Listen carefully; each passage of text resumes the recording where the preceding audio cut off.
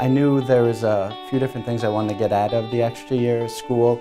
One being um, expanding my professional network, a strong academic curriculum, and then also being able to study for the CPA exam and kind of Simon hit all three of those pretty much perfectly. So I'm Paul Wehner, I'm in the MS in Accountancy program and I graduated in 2018.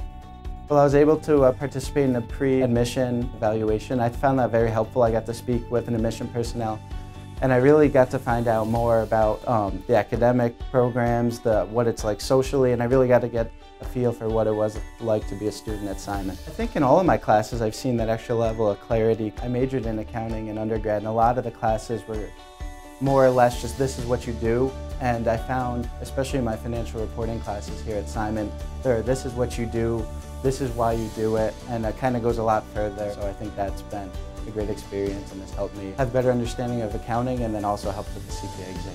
I'll be working in New York City for PwC as a risk assurance associate. I don't want to say I fell right into um, risk assurance, but I had some experience from it for my internship. So as I went through the application and interview process, it did become kind of clear to me that that is what um, I want to be doing, and I figured it would be a good first step into you know, the professional world, so I'm, I'm looking forward to it. I'm a member of the Masters Advisory Council, which meets bi-weekly and kind of um, we meet with the administration of the school and we represent our programs. And then I'm also on the board of the Accounting Association and then I'm also on the Simon Soccer team. The Simon Soccer Club is a mix of both MS and MBA students so it's a really good opportunity to network with other individuals and get to know them on a more personal basis in a more relaxed environment. When I think of networking, I think people get nervous when they think about it, but it's really just, you know, making relationships and friendships. So I think this year has been nice because you kind of see that, you know, just day to day, being friends with people and getting to know people is really what networking is, and I think there's a lot of opportunities for that here. Some advice for um, an incoming student, I think just